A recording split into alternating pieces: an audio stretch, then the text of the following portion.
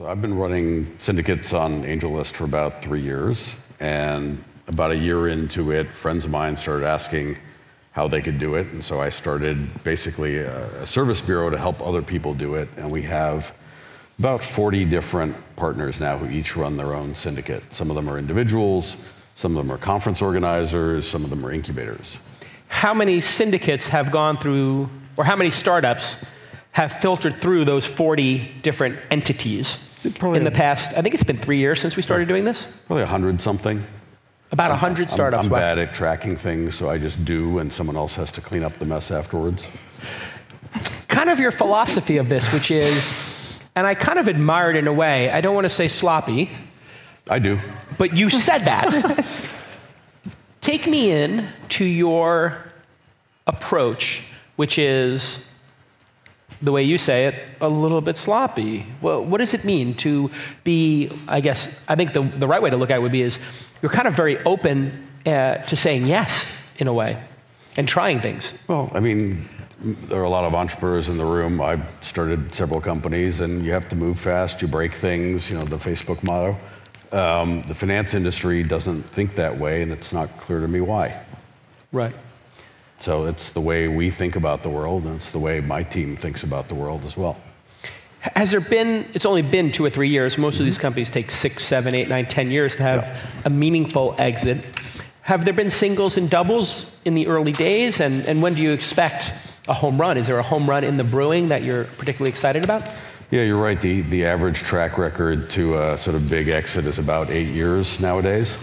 Um, we've been doing it three. Uh, we've had a couple of singles, a couple of what I would call bunts, where you know you get your money back and no, nothing else. You get on base by having your head get hit by the ball. Yeah, exactly.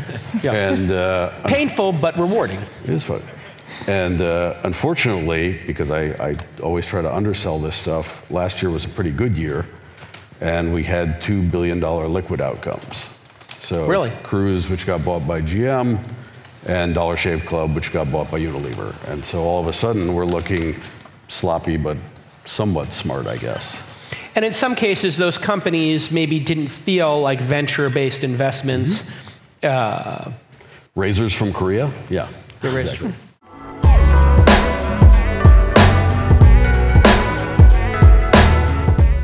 Hey, everybody, you know how much I love Wistia. You know how much I love having control of my videos and how they're presented and the ability to grow our mailing list at This Week in Startups. So, when you go to thisweekinstartups.com, you're going to see we use a product called Wistia, W I S T I A, wistia.com. Go to wistia.com slash twist, and you'll get a free account and you'll start hosting videos in minutes. Now, why is this so important? It's so important because you need to control in a business setting or in your podcast setting, you want to control the experience when people watch your video. You don't want wacky annotations, all kinds of ads layered onto it, cruft garbage. And you certainly don't want your competitors' videos coming up and suggestions all around it. You want to control your experience and have a beautiful, clean experience that allows you to do high end marketing techniques like put videos behind a paywall or a password and to get people to sign up with an email and give them that prompt hey want to get the next episode come to the launch festival free put your email in hey want to get a white paper uh, they have over 330000 using wistia now when they started on this week in startups just like two or three years ago, they only had 50,000. So this company is growing amazingly. I mean, I wish I could be an investor in it. They are crushing it. And you get great analytics, trends, viewer streams. You can really see, like, oh, people are rewinding the video and watching this section twice. I always find that fascinating. And as I said, it's super easy to use. You have tons of support. And one of the things they do great, and listen, you can go look at this for free on their blog. They explain how to use microphones, how to use cameras, how to edit, how to make great content all because they know that if you're coming from a business situation, you may not have made video before, but your consumers are demanding video and they want video on a regular basis. Video is the best way to communicate. You're hearing my voice, you're seeing me on thisweekinstartups.com. You want to watch videos when you come look at a product, service, or any website, you look for the video first, and Wistia is going to help you make and serve those great videos. They integrate with all the major email and marketing automation tools. Clients include MailChimp, Moz, HubSpot, Zendesk, Herman Miller, Sam Adams, and of course, This Week in Startups and Launch.